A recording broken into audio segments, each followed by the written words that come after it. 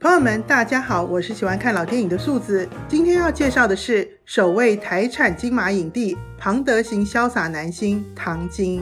在小生极度缺乏的1950、1960年代台湾国语影坛，唐晶可谓其中的佼佼者。气质清新、演技生动的他，态度恭谦有礼，加上认真钻研演技，迅速跃升宝岛首席小生。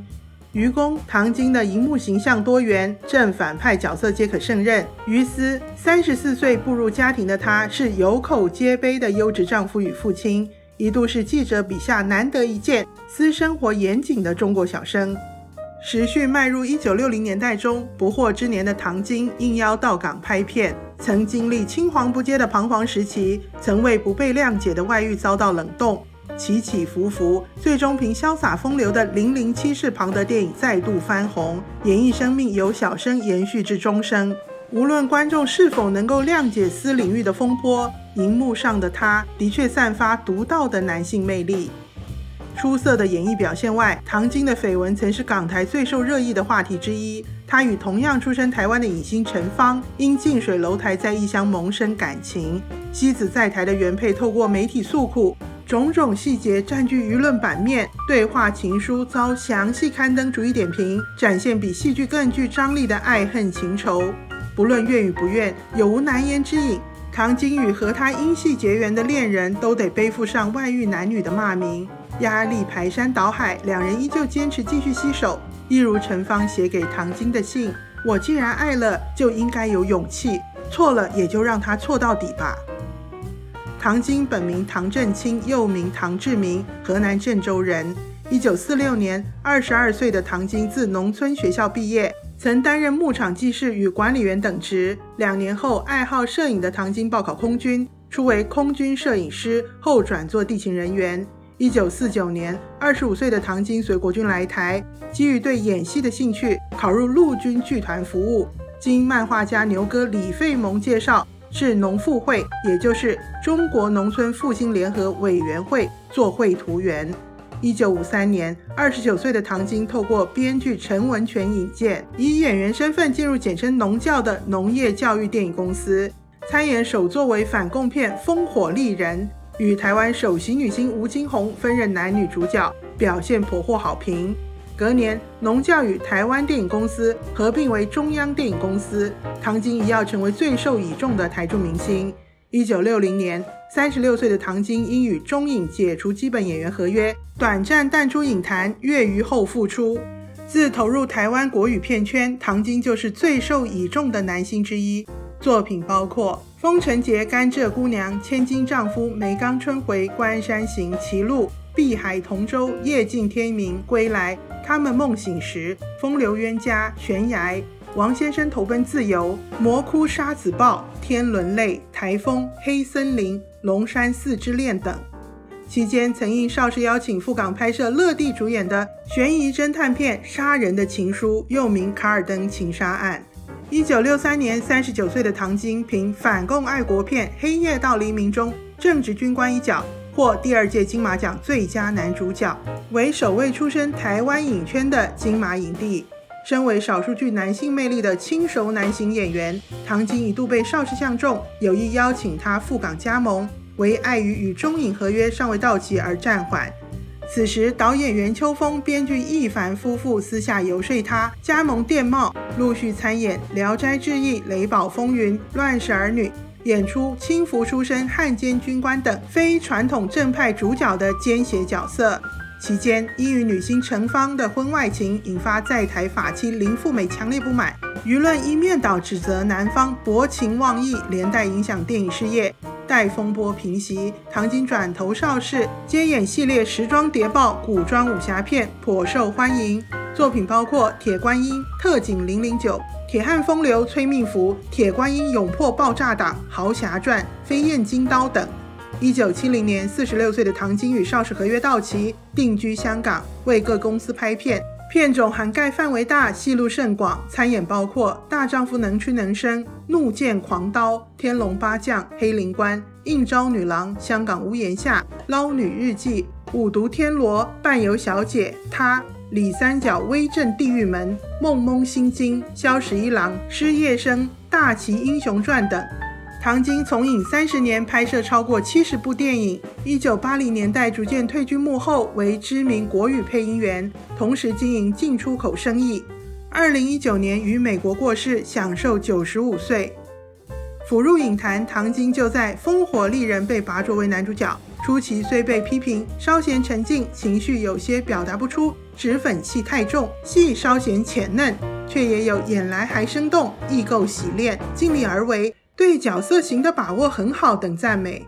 甫迈入而立之年的唐晶，尤其适合青年才俊一类角色。天时地利，唐晶持续自我精进。赴港接拍《杀人的情书》时，同样总是做足功课，先对剧本下功夫研究，了解剧中人物背景，熟读台词，实习动作，可以说一切都是非常认真。与年貌相当的男星相比，唐晶入行时间晚，戏龄短。反而能接演低于实际年龄的青年角色。随着知名度上升，唐晶维持一贯求进步作风，是记者笔下虚怀若谷的新生代代表。唐晶对戏虚心求教，对人诚恳谦逊，不论任何角色，皆仔细揣摩人物性格。影评赞赏唐晶的聪明在于不以风流小生自居，而是愿意花费时间琢磨演技，把握每个展现才华的机会。一九五零年代下半，唐晶获邵氏邀请赴港拍摄《杀人的情书》，要上枝头的唐晶显得格外低调。他的理由颇为贴心，到香港去，无形中成了大家的理想，也是唯一的情绪上的刺激。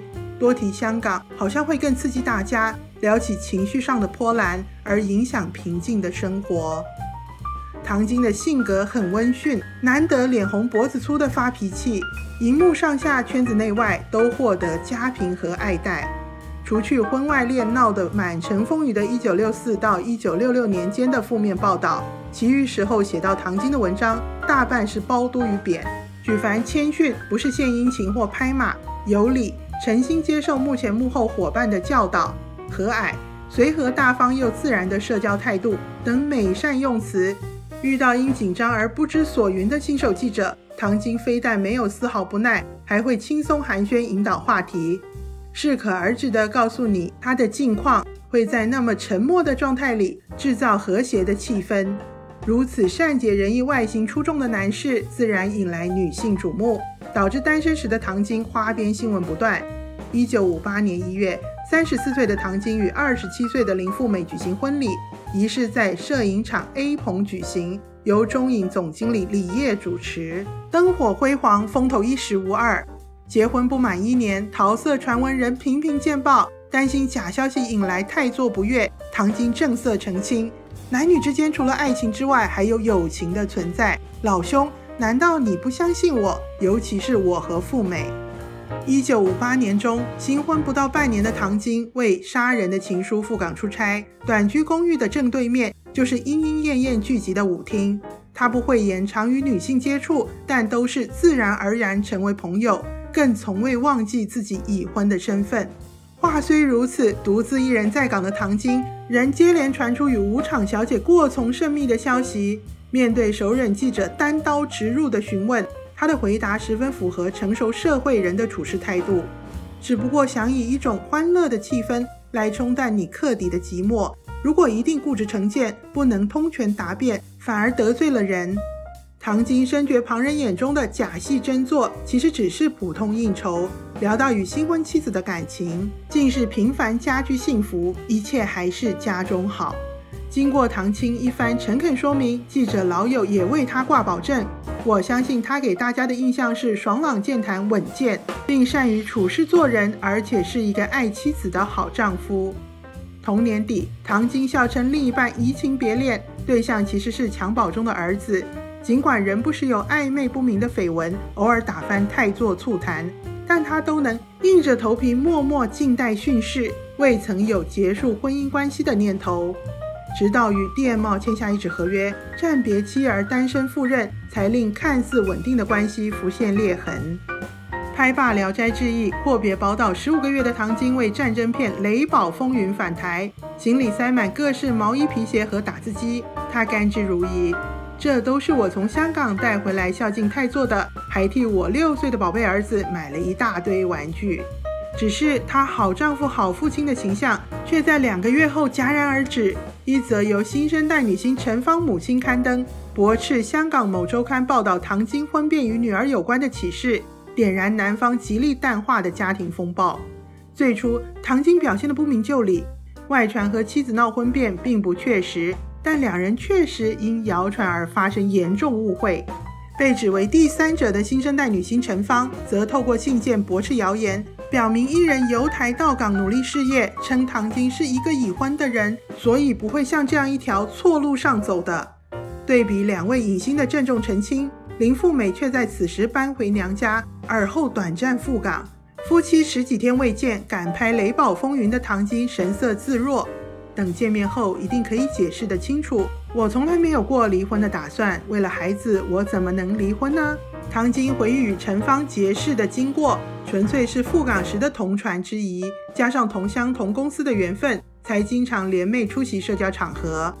无论真假，私生活问题已令他失去不少拍片机会，甚至三年后能否与电贸续约也成隐忧。既然家庭生活平稳，为何不接妻小就近陪伴？他的理由充足，拍片收入并不宽裕，香港生活程度又太高，因此没有力量负担他们在港的费用。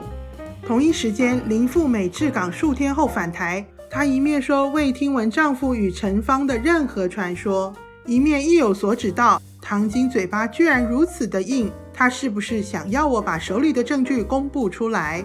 暗指丈夫未说实话。对唐晶有提拔之情的导演袁秋风、编剧易凡夫妇，自是林富美的咨询对象。易凡坦诚从他口中听到，唐晶一回到台湾，不但不对他加以慰问，反而向他提出离婚要求等说法。不过，在港的林富美倒没有直接找陈芳理论，她的说法展现理性。离婚的要求是唐晶提出来的，一切责任都应由唐晶一人肩负。自三角恋于一九六四年十二月浮上台面，便不时占据报纸娱乐版面。三人各有立场，各自表述。陈芳坚称空穴来风，绝无此事；唐晶自述聚少离多，夫妻情薄。林富美认为丈夫坚离定有隐情。其中被指介入婚姻的陈芳不断感叹遭无妄之灾，她后悔没在第一时间澄清谣言。自己长期以来都把年长十七岁的唐晶视为大哥，仅是人在异乡彼此照料的兄妹之情。陈芳自述本有一位在台就读大学的男友，为受绯闻影响，双方已停止鱼雁往返。她自小规矩自爱，却因投身影圈而卷入泥沼，不仅对父母家庭都感到抱歉，甚至怀疑千里迢迢赴港寻梦是错误的决定。未避新闻风头，曾被国泰誉为最有前途新人的陈芳，被公司送回台湾省亲一个月。在故乡依旧难逃记者追逐的她，只得无奈答：就男人而论，他也算是英俊潇洒的，就是就是有点用情不专。为自证清白，陈芳公开鼓励唐晶面对现实，不能对法妻置之不理。谈到自己的征婚条件，陈芳毫不考虑答：只要没有结过婚就行了。对于和陈芳的绯闻与妻子的关系，唐晶开头仍显轻松。夫妻之间的事没有大不了到不能解决的，我何必要去找他谈这种不愉快的事呢？拍罢《雷暴风云》外景，曾说不会离婚的他，回到香港立即低调搬离住所，减少与外界联系。与林富美通电话时，虽强调和陈芳没有瓜葛，却也无法解释自己在气头上指责妻子不能原谅你逼走陈芳的说辞。真实情况是，唐晶在一九六四年底回台时已有意离婚，经亲友规劝才打消念头，并承诺三个条件：一、回港后不与陈芳私人会面；二、三个月内接妻子赴港定居；三、定期寄生活费。只是一切都在他离台后发生变化。暂别绯闻女友，拒见妻子的唐晶独居香港，见媒体多支持原配，加上离婚遥遥无期，唐晶一度自暴自弃，不理法不剃须，折磨封闭自己，更道破非分手不可的理由。与太太已没有爱情存在，向太太提出离婚，太太不接受。太太拖住是太太的不对。说到责任，我已将收入半数交给林富美，尽到了做丈夫、父亲的责任。根据林富美的说法，唐晶为《雷宝风云》返台时，就以夫妻分隔两地生活不妥为由提出离婚。想维持夫妻关系的他，自愿容忍退让，承受委屈，不仅可以自行负担生活费用，也就是唐晶无需寄钱回家，也同意他在香港可以尽量玩，接受分居，但不答应离婚。一九六五年四月，林富美因无法得到满意答复，在国泰作保下辞去工作，带着儿子赴港探夫。唐晶请人送生活费给母子，却不愿与他们见面，甚至在袁秋风夫妇面前坦诚“我爱陈芳”。眼见转圜无望，林富美心中尽是悔恨。早已听到唐晶的谣言，我一直太信任他了，总觉得是他一时糊涂，会有回心转意的一天。然而无论他如何对待我，我总存个希望，让孩子不要失去了父爱。一九六四年十二月下旬至一九六五年四月中。陈芳、唐晶、林富美的三角关系从扑朔迷离到逐渐清晰。唐晶先宣称离婚与陈芳无关，后承认与他相爱的反复固然遭受批评，但被指是第三者的陈芳更是受伤严重，形象大伤的他一脸忧伤。真后悔当初不该常和他结伴出席宴会的。我总以为与结了婚的人在一起比较安全，哪想到他会和太太提出离婚，我对他真是恨之入骨。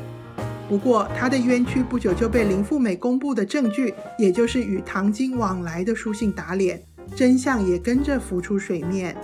虽然不是分隔两地，唐晶、陈芳其实仍持续通信，和女方表面上的冷淡态度相反，从互称丈夫妻子到一再提及深爱唐晶等，证实两人的确发展出爱情关系。其中一封1965年5月由陈芳寄出的长信，更辗转落至林富美处。她读完之后一阵怅然，没想到另一个女孩子闯入后，唐晶变了，变得无情无义，变得要跟我离婚。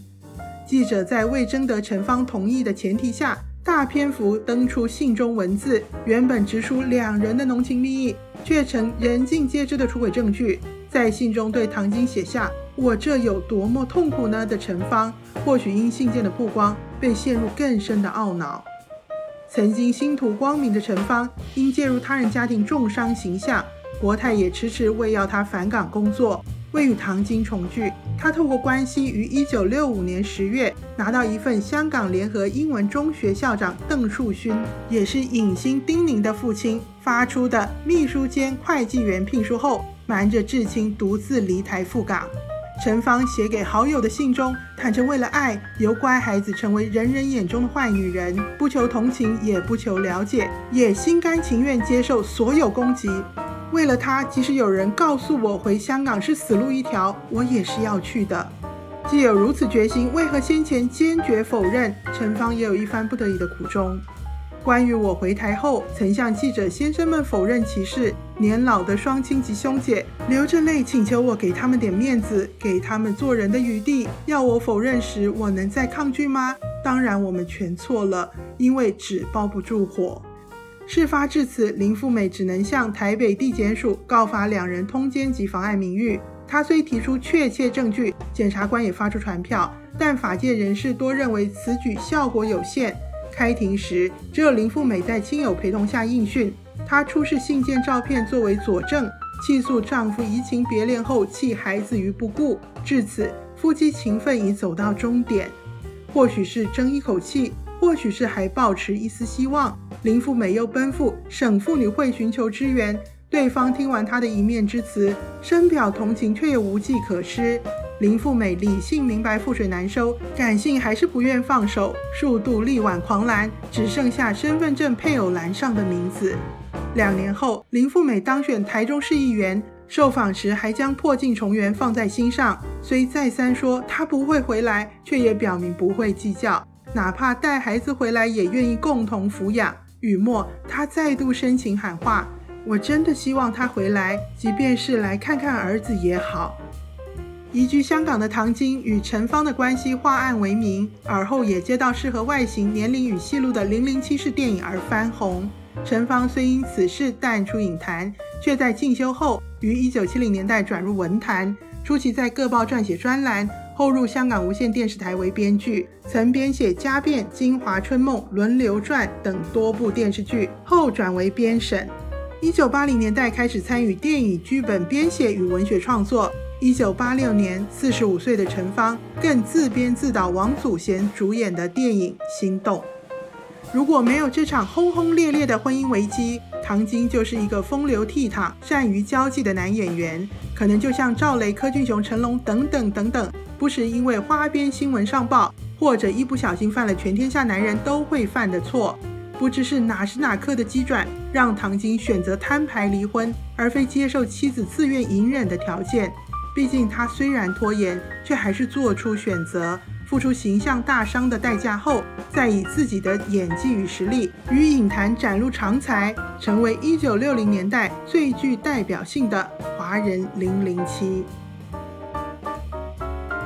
影片就说到这里，欢迎点击订阅我的频道，咱们下次见喽。